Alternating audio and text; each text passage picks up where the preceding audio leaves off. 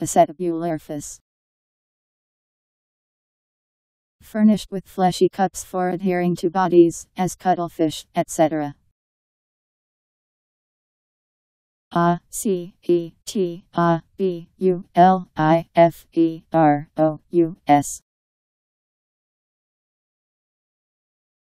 Acetabuliferous.